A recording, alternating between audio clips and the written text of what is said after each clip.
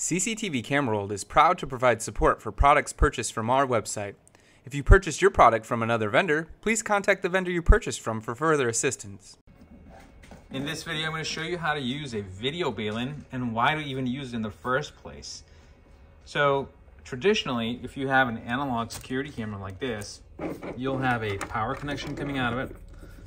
This is a 12 volt DC connection and a BNC cable coming out of it. This is a BNC female. This is what a regular pigtail looks like for a camera. This particular camera has two of these BNCs. One is black colored and says HD CVI on it. This camera happens to output a HD signal that is for use with a security recorder that you just see right over there and also a regular old DVR that will accept a CVBS, which is a composite video broadcasting system uh, signal. This is basically old standard resolution. I want to use the HD signal in this case. Now, if you were to hook up one of these cameras to a DVR, traditionally you would use Siamese cable. This is a pre-made Siamese cable. It's a budget type cable. It'll support up to four megapixel signals up to 100 feet, depending on the length of your cable, of course. Don't go over 100 feet if you're using four megapixel signals on these. So here you've got a BNC male and you've got a DC power male. The DC power male would connect here and the BNC would connect here and the other end.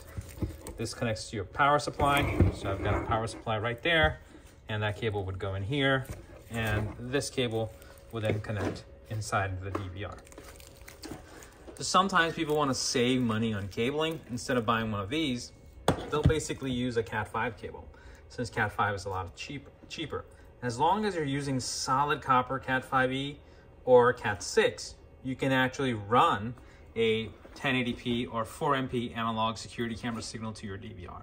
And that's what I've set up here to show you. You'll have to power the camera through a power terminal, which I'll show you in a second. But in my case, for my test that I'm doing to show you the quality of the balun, I have a power supply. This is a power brick, and it is a 12 volt, 1 amp. This is my trusty 12 volt, 1 amp that I use for most of my demonstrations. You'll see it says 12 volt, 1 amp. That's DC current. I have connected my 12 volt, 1 amp to my camera, connected the HD signal to my video balun, and this is what a video balun looks like. Okay. And on one side it has a BNC, and the other side is a screw terminal. And there's a polarity to them. There's a positive and negative. So this screw is positive and this one's negative. What I've done is to kind of guide you, on both sides you're gonna have a video balun. One side connects to the camera. There you go, you got a camera pigtail coming out, a video balun, then you got Cat5e. All you need to do is just use two strands. This will take you anywhere from 200 to 400 meters depending on your signal type and the signal resolution. And then after that, you connect it again, matching whether you're using solid wire or stripe wire for positive and negative on this side as well, and then plug it into your DVR. I'm connecting to the first channel in my DVR. So video balun, two wire strand, making sure your positive and negative is good. The other thing you wanna make sure is there's no excess wire showing through these connections. Otherwise it'll short out and just cause signal issues. Make sure there are no breaks in your wire, You're using good quality wire, solid copper. And I've actually ripped the strands out of my wire. Some installers like to do that. Just for this demo, I happen to do that, but usually I don't. But you could even run multiple signals through one Cat5e or Cat6 because there are four pairs in there. All you need is one pair to send the video, up to four megapixel. And then you've got your camera, power supply. And here's what the video balun looks like in a package, just so you know. I turned my camera on while I was talking, and now it's here on the screen. And you'll see that the video is crystal clear. There are no lines. If you're getting lines in your video, then your cable is not good quality. You have to use, again, like I said, solid copper wire.